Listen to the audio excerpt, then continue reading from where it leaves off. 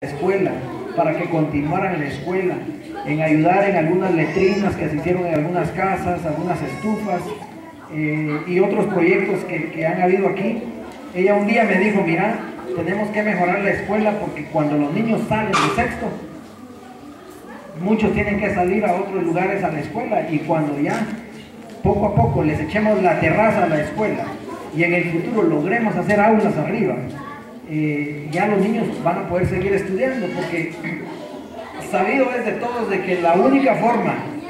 que nosotros en este país podemos salir de la pobreza es por medio de la educación. Entonces está comprobado que no existe otra forma, bueno hay otras formas pero son ilegales, pero no existe forma en este país de poder salir adelante si no educamos a nuestros hijos. Entonces, eh,